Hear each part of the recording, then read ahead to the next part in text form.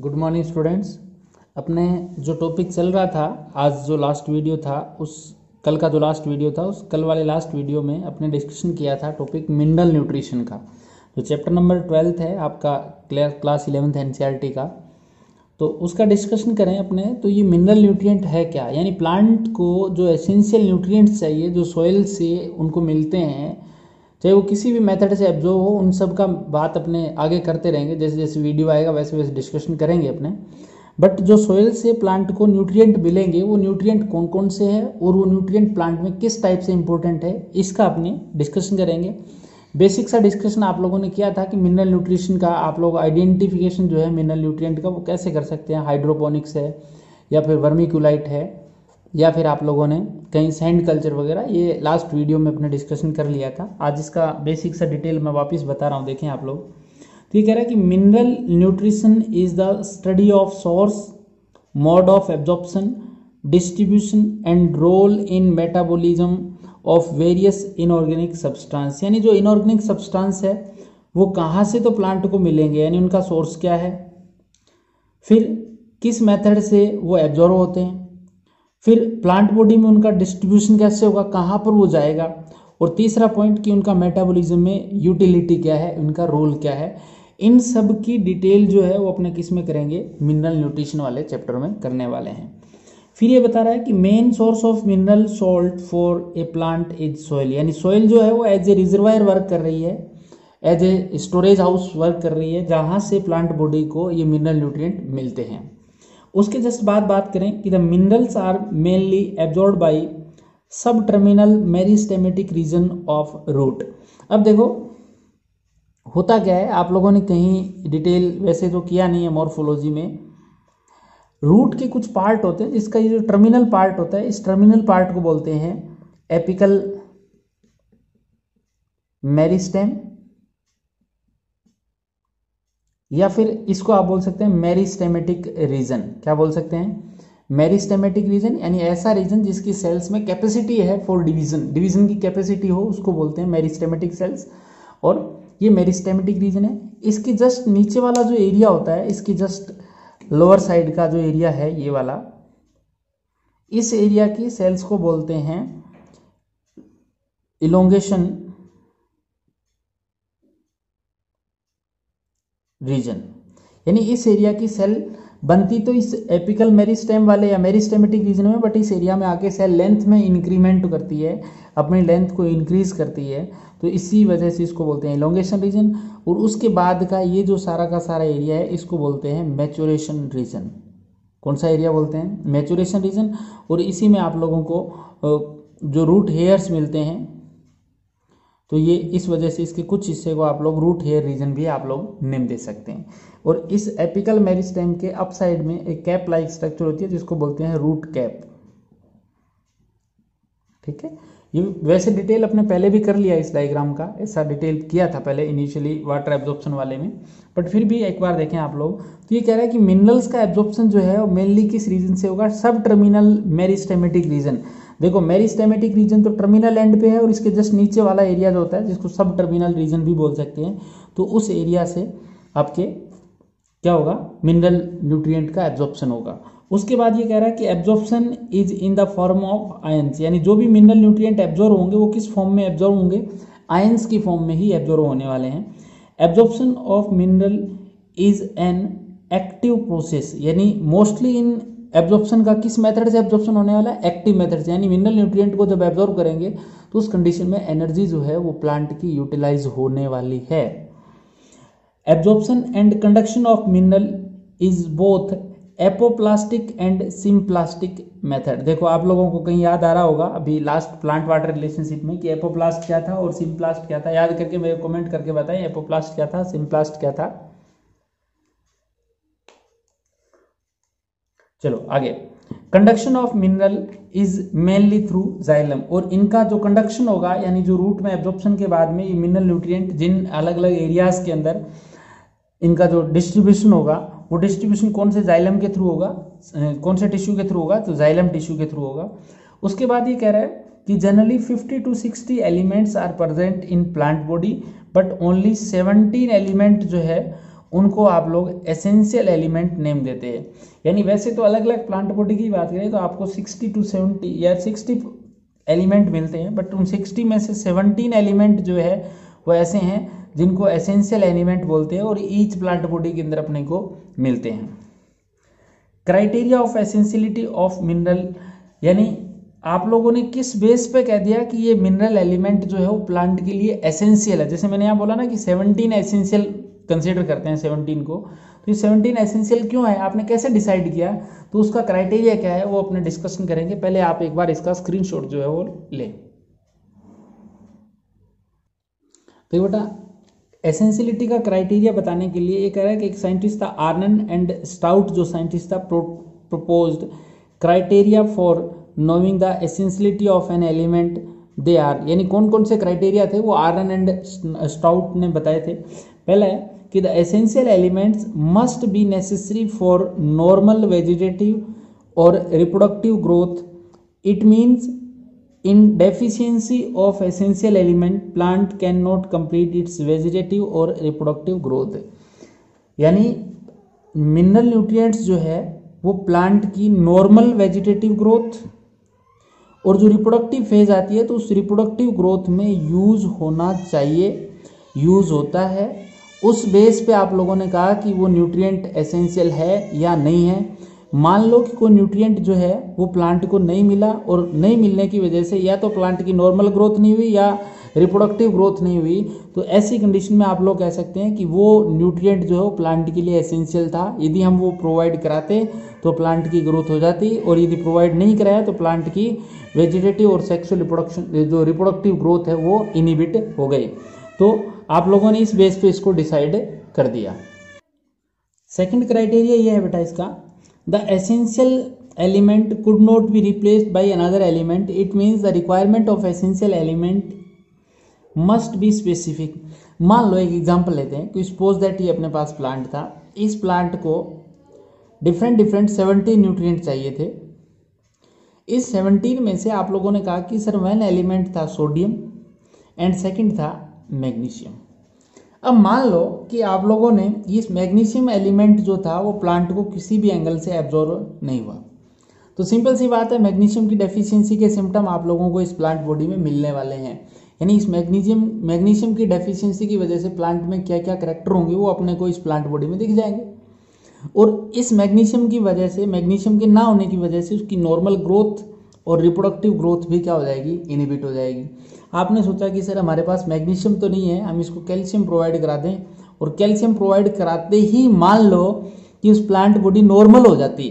तो आप लोग ये कहते हैं कि भाई मैग्नीशियम की जगह हमने किसको डाल दिया? कैल्शियम को तो भी प्लांट ग्रोथ कर गया। तो ऐसी सिचुएशन में मैग्नीशियम आपका एसेंशियल एलिमेंट नहीं हो सकता। कहने का मतलब यदि मैग्नीशियम की रिक्वायरमेंट है प्लांट को और मैग्नीशियम देने पर ही कंप्लीट हो वो, आप बाहर से कैल्शियम या कोई अदर एलिमेंट दे दें, उससे वो यदि कंप्लीट हो जाती है उसकी रिक्वायरमेंट प्लांट की नॉर्मल ग्रोथ स्टार्ट हो जाती है तो आप उस एलिमेंट को क्या नहीं बोल सकते? एसेंशियल एलिमेंट नहीं बोल सकते। एसेंशियल एलिमेंट तभी बोलोगे कि इस मैग्नीशियम को आप अदर एलिमेंट से रिप्लेस नहीं कर सकें। मैग्नीशियम रिक्वायर्ड है तो सिर्फ़ मैग्नीशियम ही होना चाहिए। देखो ये लिखा हुआ है the essential element could not be replace by another element it means the requirement of essential element must be specific specific होनी चाहिए, ठीक है? तीसरा criteria essential element are directly involve in metabolism of plant body अब सीधी सी बात है कि जब ये मेटाबॉलिज्म में इन्वॉल्व हो रहा था, तभी तो प्लांट की रिप्रोडक्टिव या नॉर्मल ग्रोथ इनोवेट हो रही थी। तो ये इसमें इन्वॉल्व होना चाहिए। तो ये थ्री क्राइटेरिया किसने डिसाइड किए थे? आर्नन एंड स्टाउट ने डिसाइड किए थे। उसके बाद ये कह रहा है कि इन एसेंशियल एलिमेंट्स को आप क्लासीफाई करें। तो क्लासिफिकेशन में देखें तो क्लासिफिकेशन ऑफ़ एसेंशियल एलिमेंट में इसने लिखा हुआ है नॉन मिनरल जो है और दूसरी क्राइटेरिया इसने क्लासीफाई कर रखा है मिनरल्स का। नॉन मिनरल्स की बात करें तो कार्बन हाइड्रोजन और ऑक्सीजन है और got from water and air यानी ऐसे एलिमेंट जो वाटर और एयर से ऑप्टेन होते हैं प्लांट को उनको आप कौन से एलिमेंट बोलते हैं? उनको बोलते हैं नॉन एलिमेंट मिनरल न्यूट्रिएंट। दूसरे आते हैं मिनरल न्यूट्रिएंट्स, क्योंकि अपने डिस्कशन किसका करेंगे? मिनरल न्यूट्रिएंट्स का। तो मिनरल न्यूट्रिएंट्स में ये कह रहा है कि एक तो आते हैं माइक्रो न्यूट्रिएंट और दूसरे आते हैं, sorry macro nutrient and micro nutrient macro वाले में प्राइमरी है एनपीके पूछा जाता है एग्ज़ाम के अंदर, और सेकेंडरी में आता है कैल्शियम, मैग्नीशियम एंड सल्फ़र। और माइक्रो न्यूट्रिएंट में आता है ferrous nickel copper zinc manganese molybdenum chloride और बोरोन ये आपके आते हैं माइक्रो न्यूट्रिएंट के अंदर मिनरल्स के अंदर. तो ये एक बार आप इसका स्क्रीनशॉट लें, का क्या क्राइटेरिया था, फिर अपने आगे, अगले वाली स्लाइड में डिस्कशन करने वाले हैं कि माइक्रो किन को बोलते हैं मैक्रो किन को बोलेंगे. तो एक बार आप इसका स्क्रीनशॉट लें. थोड़ा सा अब स्क्रीनशॉट लें बेटा। उसके बाद इन मिनरल न्यूट्रिएंट का जो क्लासिफिकेशन दे रखा है, उसके अकॉर्डिंग बात करें तो सबसे पहले ये कह रहा है कि अकॉर्डिंग टू क्वांटिटेटिव रिक्वायरमेंट यानी ये आनंद ने इसको क्लासीफाई किया था, और क्वांटिटी यानी कितनी क्वांटिटी में प्लांट बॉडी को मिनरल न्यूट्रिएंट रिक्वायर्ड है उसके बेस पे तो ये किसने लिखा था? मैक्रो न्यूट्रिएंट या फिर जिनको बोल सकते हैं मेजर एलिमेंट ये है नाइन कितने हैं टोटल नाइन है। यानी कौन से मैक्रो न्यूट्रिएंट होगी इसने लिखा है विच रिक्वायर इन मोर क्वांटिटी यानी मोर क्वांटिटी में कितना? टेन मिली मोल मिली मोल पर किलोग्राम या फिर one two ten milligram per litre के हिसाब से, यानी इससे ज़्यादा जो क्वांटिटी होगी, उनको आप क्या बोलोगे? उनको आप बोलोगे macro nutrient of dry weight of plant called dry weight का मतलब मान लो प्लांट की आपके पास कोई लीफ थी, उस लीफ को आप लोगों ने सपोज़ दैट लीफ का या प्लांट बॉडी जो थी, वो आपके पास हंड्रेड के थी। आप लोगों ने इसको सुखाया तो सपोज़ दैट इसका वेट जो है वो ड्राई वेट टेन के रह गया। उस टेन के में ये कह रहा है, कितना होना चाहिए? टेन मिलीमोल पर के से ज़्यादा होना चाहिए। मतलब इसमें आप लोगों को मिनरल न्यूट्रिएंट मान लो one zero five milli mole मिल गए। तो आप लोग कह सकते हैं कि सर, पर केजी में कितना हो गया? टेन से ज़्यादा हो गया ना? क्योंकि टेन केजी में इतने हो गए तो टेन से ज़्यादा, ten point five milli millimole per के के हिसाब से हो गया। तो इसको आप क्या बोलोगे? मैक्रोन्यूट्रिएंट नेम देंगे। दीज आर इसने कुछ नेम लिख रखे हैं। अब नेम को याद रखने का, याद रखना है। आप लोगों को लिखना है। इंग्लिश में देखो, ऐसे लिखते हैं, चौपन। C H O P N चौपन के साथ यानी 54 के साथ कार जो है उसको मांगना है। कार मांग। One two three four five six seven eight nine चौपन के साथ कार मांग। आप यू मान लो कि 54 के साथ 54 का मतलब 54,000 54 ले उसके साथ में आप को साथ लेके जाना है और क्या मांगनी है? कार मांगने जाना है किसी के घर पे। तो चौपन के साथ कार मांग, इससे मैक्रो वाले याद रह जाएँगे। अब जो रिमेनिंग एट रह गए, क्योंकि नाइन तो ये आ गए सेवनटीन में से तो आप बोलोगे, सर, पीछे कितने रह गए? एट बच गए। वो एट सारे किसमें आ जाएँगे? माइक्रो न्यूट्रिएंट में आ जाएँगे। अब मैक्रो वाले आपको याद है तो माइक्रो इजी गोइंग आइडेंटिफाई कर लोगे। मान लो उसने क्वेश्चन में दे दिया कि which element is macro element तो इनमें से नाइन में से आपको कोई ना कोई एक मिल जाएगा। तो ये ट्रिक लिख के देख लेना, इनमें से जो हो, वो मैक्रो में आ जाएगा। बाई चांस उसने कह दिया कि इसमें से माइक्रो वाले को आइडेंटिफाई करो। तो इसका मतलब नाइन में से थ्री होंगे और वन जो होगा, वो कौन से में से आएगा? माइक्रो वाले में से आएगा। तो इस टाइप से आपको आइडेंटिफाई सिर्फ़ एक के बेस पे आप आइडेंटिफाई कर सकते हैं। आगे इसने को नोट डाल के स्पेशल पॉइंट लिख रखे हैं। इन स्पेशल पॉइंट को देखें तो इसने लिखा है कार्बन हाइड्रोजन ऑक्सीजन जो है, उनको नॉन मिनरल एलिमेंट बोलते हैं, या फ्रेमवर्क एलिमेंट क्योंकि प्लांट बॉडी की फॉर्मेशन करने में, जैसे सेल वॉल की फॉर्मेशन है सेल मेम्ब्रेन की फॉर्मेशन है तो फ्रेमवर्क वर्क एलिमेंट का काम करते हैं। Those element which obtain from water and air are called non mineral element and those which is obtain from soil called mineral element ये बात अपने पीछे भी डिस्कशन कर ली थी। आगे इसलिए लिखा है those element which are found as component of nucleic acid यानी ऐसे एलिमेंट जो न्यूक्लिक एसिड की स्ट्रक्चर में काम आ रहे हैं, आप लोग याद करें कौन से थे?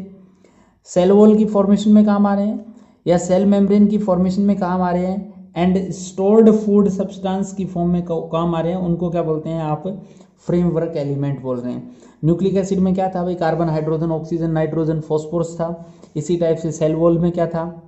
वही carbohydrate protein carbohydrate and proteins थी, लिपिड भी थी, सेल मेम्ब्रेन में भी लिपिड प्रोटीन कार्बोहाइड्रेट थे।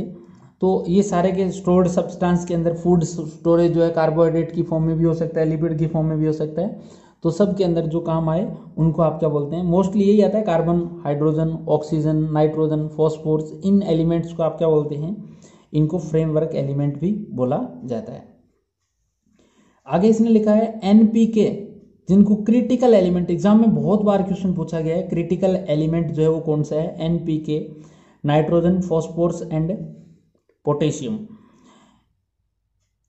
found in less quantity in soil और ये लेस क्वांटिटी में होते हैं आप लोगों को पता है, आप लोग एग्रीकल्चर में डीएपी जो है, उसको यूज़ करते हैं।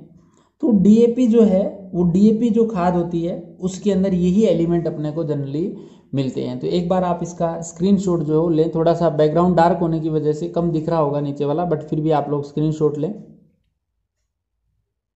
देखो, इसके बाद लिखा हुआ है कि nitrogen is an unique example of mineral and non mineral दोनों का ही एग्ज़ाम्पल इसमें कंसिडर करते हैं आप लोग इसमें, क्योंकि अपने को पता है नाइट्रोजन मिलती एटमोस्फियर से है और मिलती किसके थ्रू है? सोयल के थ्रू तो इसका मतलब दोनों में कंसिडर करेंगे।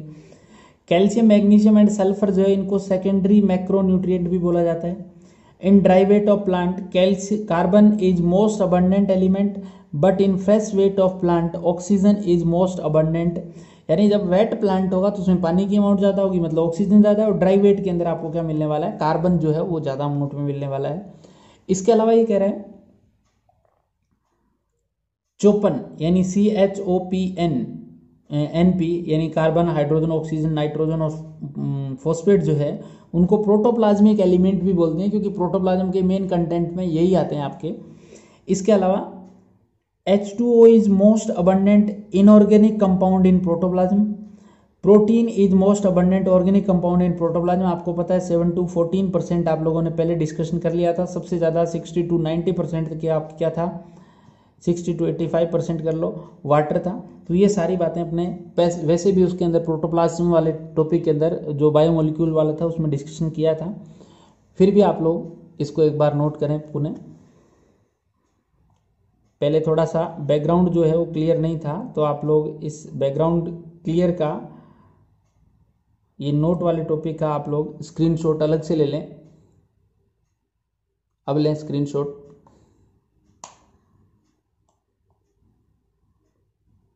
फिर से आपका।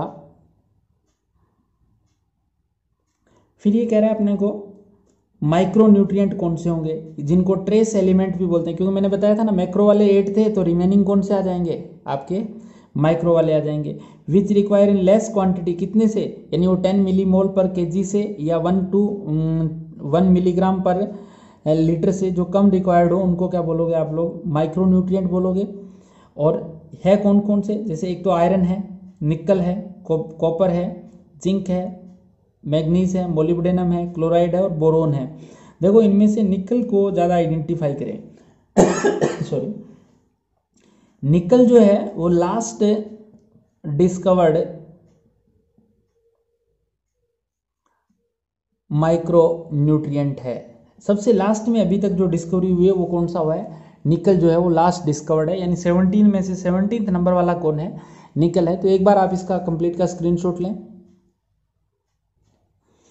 इसके बाद नोट डाल के फिर से कुछ लिखा हुआ है। इन जो माइक्रो न्यूट्रिएंट थे माइक्रो न्यूट्रिएंट जो थे, इन माइक्रो न्यूट्रिएंट्स में आप लोग बात करें तो जो जिंक है is an activator of following enzymes देखो एंजाइम वाले टॉपिक में आप लोगों ने कहीं लिखा हुआ था एक्टिवेटर यानी एंजाइमिक एक्टिविटी को बढ़ाने का काम जो है वो कर रहे थे। तो जिंक एक्टिवेटर का काम कर रहा है। कौन से एंजाइम का? कार्बोक्सी पेप्टाइडेज का।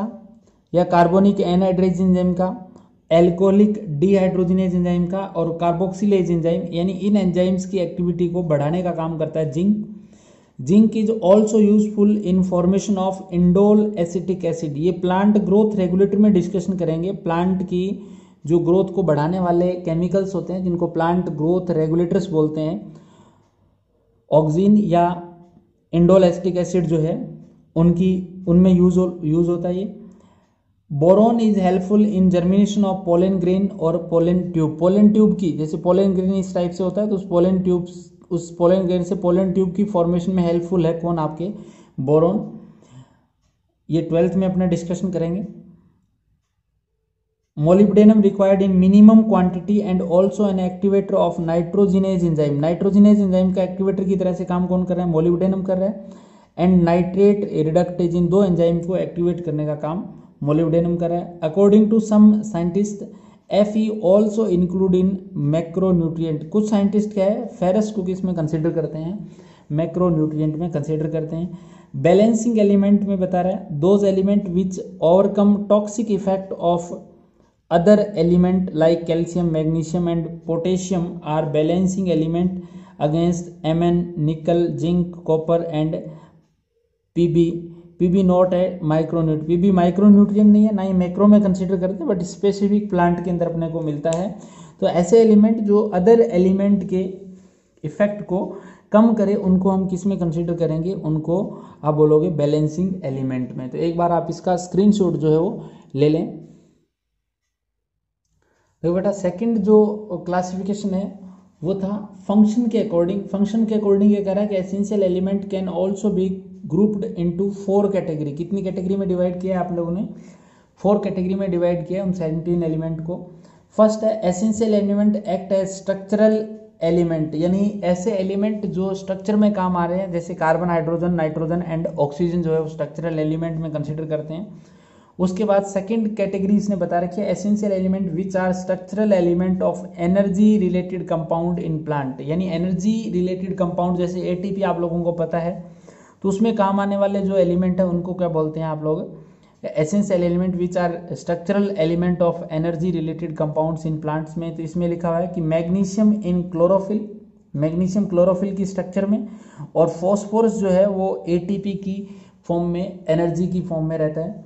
इसके अलावा essential element that are activator और इनिबिटर ऑफ़ सम एंजाइम यानी ऐसे एलिमेंट जो कुछ एलिमेंट के एंजाइम्स के लिए एक्टिवेटर या इनिबिटर का काम वर्क कर रहे हैं। जैसे मैग्नीशियम जो है is an activator for both ribulose biphosphate carboxylase oxygenase RuBisCO enzyme देखो नेचर में सबसे ज़्यादा जो अमाउंट में मिलने वाला एंजाइम है वो कौन सा है?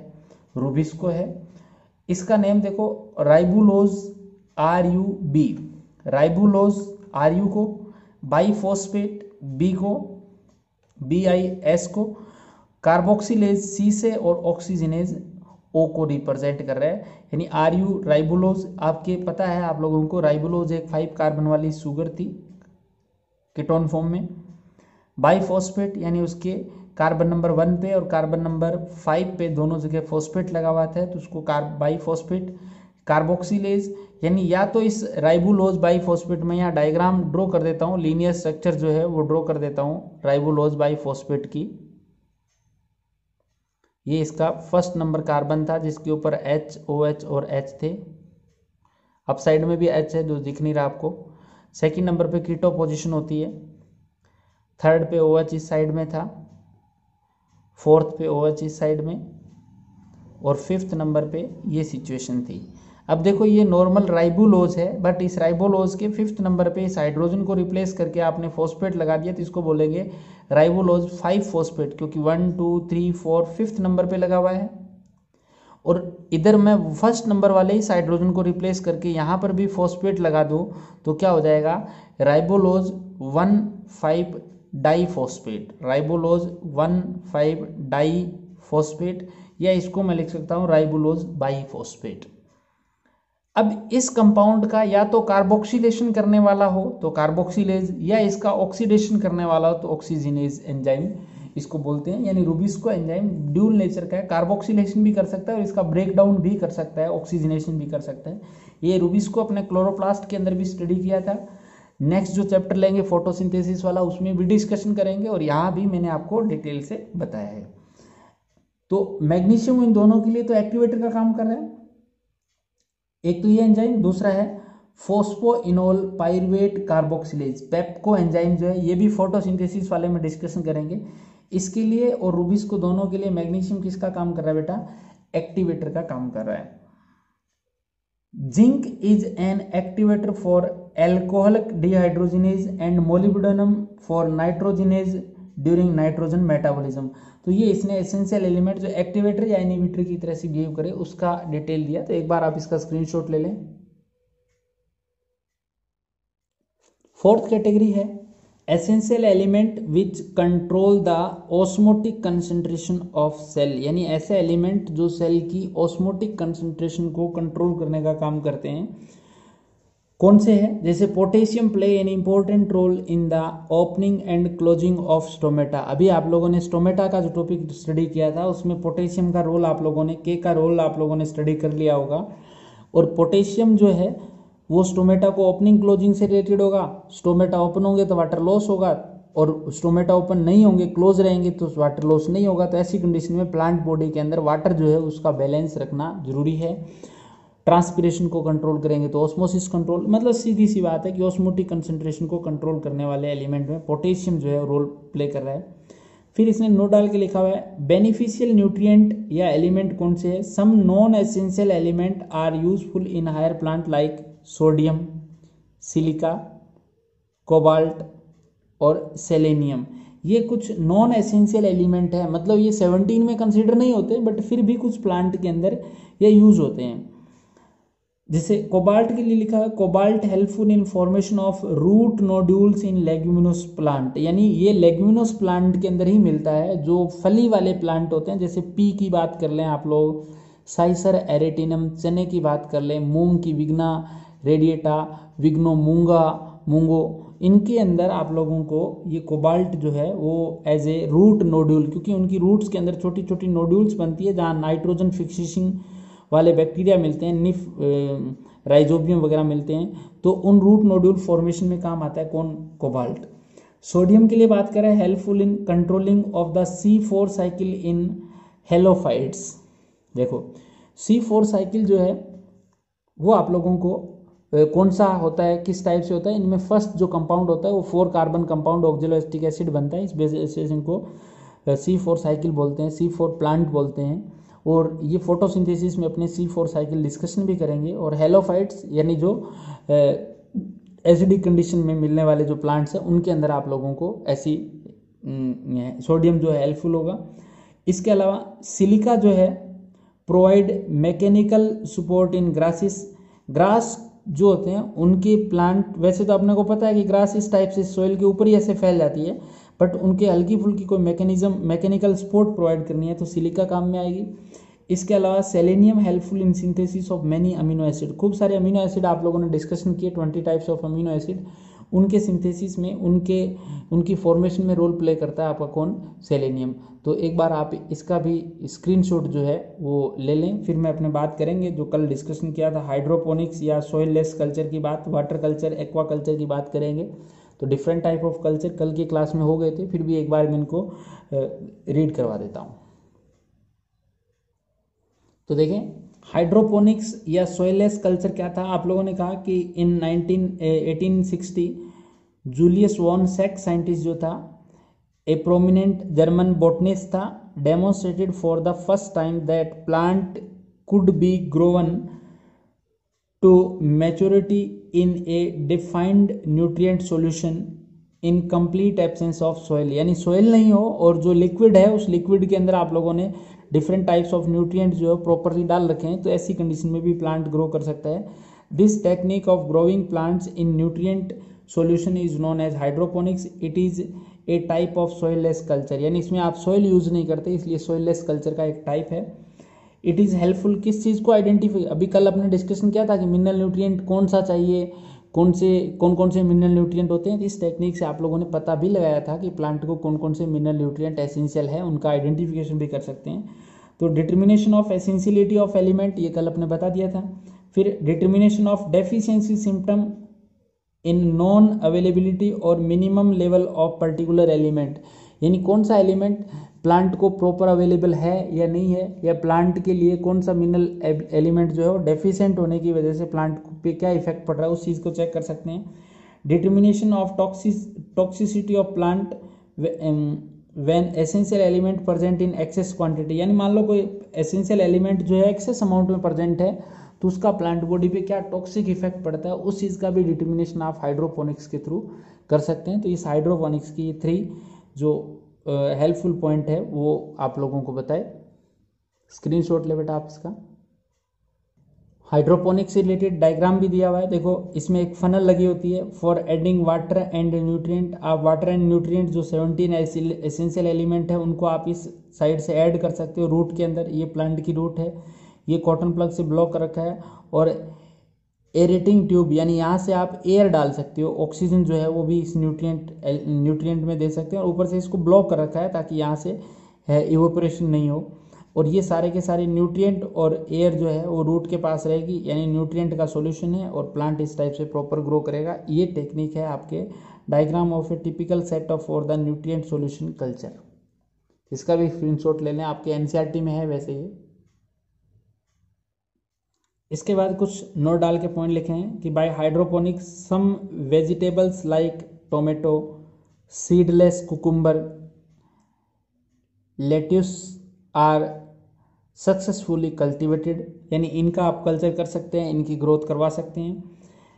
Excess M N may induce deficiency of iron magnesium and calcium यानी एक्सेस अमाउंट में यदि मैग्नीज यूज़ करते हैं एम एन यूज़ करते हैं तो वो फेरस मैग्नीशियम और कैल्शियम की डेफिशिएंसी को इंड्यूस करेगा। Due to this deficiency symptom of ferrous magnesium calcium are developed in excess mn quantity like brown spot are developed on leaf surface यानी सीधी सी बात है कि यदि प्लांट के पास एम एन जो है वो हाई अमाउंट में होगा तो आपको उस प्लांट में डेफिशिएंसी किसकी फील होती रहेगी? आयरन की मैग्नीशियम की और कैल्शियम की डेफिशिएंसी के सिम्टम्स मिलना स्टार्ट हो जाएँगे। Deficiency symptoms of high mobile element in plant like nitrogen phosphate potassium magnesium sulphur first appear in old part देखो मोबाइल एलिमेंट ऐसे एलिमेंट होते हैं जो प्लांट की, मान लो ये प्लांट बॉडी है अपने पास, यहाँ आई थिंक दिख रहा होगा आप लोगों को। प्लांट बॉडी की ये कोई लीफ है, ये कोई दूसरी लीफ है। मान लो ये ओल्ड लीफ है और ये यंग लीफ है। तो ये कह रहा है कि जैसे ये ओल्ड लीफ मरना स्टार्ट होगी डेड होना स्टार्ट होगी लीफ गिरने की पोजीशन में होगी तो इसके जो भी नाइट्रोजन है फॉस्फेट है पोटेशियम मैग्नीशियम सल्फ़र है, ये एलिमेंट यहाँ से मूव करके और ये यंग लीफ के अंदर पहुँच जाएँगे। तो इसका मतलब यदि इनकी डेफिशिएंसी मिलेगी तो किसमें मिलेगी? ओल्ड पार्ट में या यंग पार्ट में? तो ओल्ड पार्ट के अंदर सबसे पहले डेफिशिएंसी मिलती है। तो लिखा हुआ है deficiency symptom of high mobile highly mobile element यानी ऐसे मोबाइल एलिमेंट जो मूव करते हैं one one part to another part in plant like nitrogen phosphate potassium magnesium sulphur first appear in old part of plant और आगे लिखा डेफिसी symptom of immobile यानी जो इमोबाइल होंगे, उनके सबसे पहले किसमें दिखेंगे? Are first appear in young plant parts young में क्यों दिखेंगे? क्योंकि यंग तो अभी डेवलप हो रहा है तो उनके अंदर वो होंगे नहीं ओल्ड वाले के अंदर प्रेजेंट होंगे ऑलरेडी तो ओल्ड वाले के अंदर इनके डेफिशिएंसी सिम्टम नहीं दिखते। जो नॉन मोबाइल होते हैं, उनका तो मिलता है यंग में, और जो मोबाइल एलिमेंट है, उनकी डेफिशिएंसी सिम्टम कहाँ मिलेंगे? ओल्ड लीफ में मिलने वाली है। तो एक बार आप इसका भी स्क्रीनशॉट लें। इसके बाद इसने दे रखा है टाइप्स ऑफ़ हाइड्रोपोनिक्स जिसको फ़िल्म सिस्टम भी बोलते हैं। Plants are grown in a tube और through placed on a slight incline. A pump circulate a nutrient solution from a reservoir to the elevated end of the tube देखो किस type से? देखो यहाँ pump लगा हुआ है। ये न्यूट्रिएंट एलिमेंट को इस ट्यूब में सेंड करता रहता है, इस पाइप के अंदर। यानी इसमें एक इस टाइप की पाइप लगी हुई है बेटा, जिसके अंदर इस टाइप से पोर बने हुए हैं। ये इधर से क्लोज है। और इधर ये कह रहा है कि एक रिजर्वायर होता है, जहाँ न्यूट्रिएंट पड़ा पड़ा रहता है। न्यूट्रिएंट खूब सारा इसमें पड़ा है ऑलरेडी इस न्यूट्रिएंट में एक पंप लगा हुआ है। पंप क्या करता है? एक पाइप के थ्रू न्यूट्रिएंट इस साइड में सेंड कर देगा और यहाँ इसने प्लांट जो है, उनको लगा रखा है खूब सारे प्लांट न्यूट्रिएंट इधर से आएगा मूव करता करता वापस किसमें आता जाएगा? इसके अंदर आता जाएगा और यहाँ से पंप उठाएगा और इसको मूव कराते रहेगा। ये सिस्टम देखो यहाँ से दिख रहा होगा। ये पंप के थ्रू वाटर इस, ये न्यूट्रिएंट इस साइड से अंदर जा रहे हैं। फिर इसमें प्लांट लगे हुए हैं। इनको मिलता है न्यूट्रिएंट वापस इसके अंदर गिर रहा है। तो डायग्राम से आप लोगों को क्लियर हो रहा होगा। तो इसी को आप बोलते हैं types of hydroponics film system यानी एक ही सिस्टम के साथ बार बार आप इसको कल्चर करवा सकते हैं। तो इसका स्क्रीनशॉट लें। आज के लिए इतना ही करेंगे। नेक्स्ट जो क्लास रहेगी, उसमें अपना डिस्कशन करेंगे कि जो सेवनटीन एलिमेंट है, उन सेवनटीन एलिमेंट का प्लांट बॉडी में किस टाइप से तो मिलेंगे प्लांट को कहाँ से मिलने वाले हैं? प्लांट के अंदर के इनके डेफिशिएंसी सिम्टम क्या होंगे और प्लांट के अंदर इनका यूज़ क्या है? ये सारी बातें अपने इन डिफरेंट सेवनटीन एलिमेंट की बात करेंगे। तो वो अपने कल की क्लास रहेगी। तो आज के लिए इतना ही। Thank you